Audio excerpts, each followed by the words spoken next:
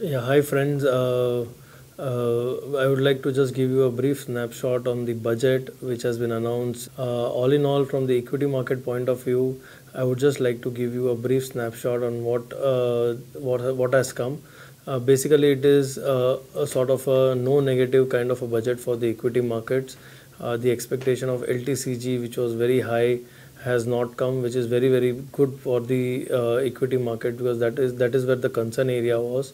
Uh, apart from that, the normal budget has focused on agri, rural, and lower middle class uh, people, and that is where the entire rural India lies.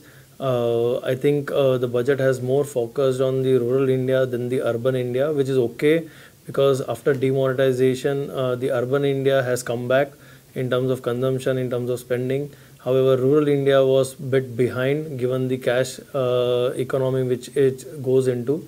Uh, so to that extent, some kind of booster dose was needed for to bringing back the rural economy back on track, and I think that is what uh, the finance minister has tried to do it.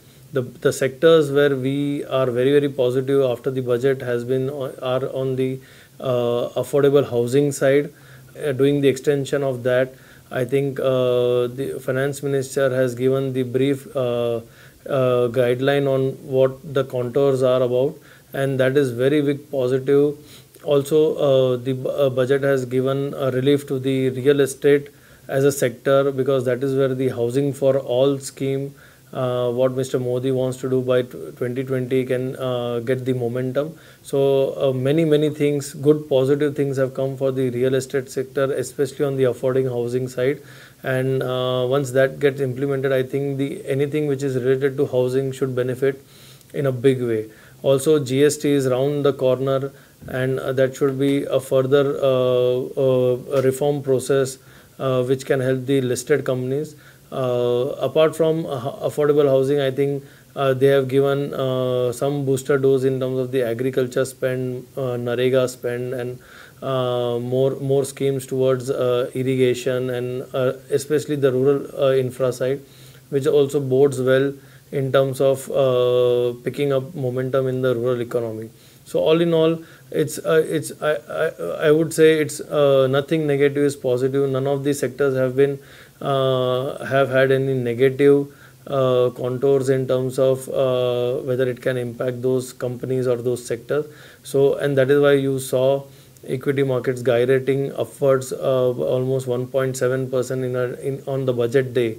However, we'll we'll have to go through the fine print much more in detail and understand what lies in for everyone. But uh, net net on a on a on a macro basis, I think it's a good budget, sensible budget, steady, and the prudence have been maintained in terms of fiscal discipline, which calls for uh, interest rate cut uh, in the next monetary policy, which is around 7th or 8th of uh, this month. So all in all, we, we are positive on the budget. We'll have to see how things pick up again and uh, how GST is rolled out. Thank you very much. Mutual fund investments are subject to market risks. Read all scheme related documents carefully.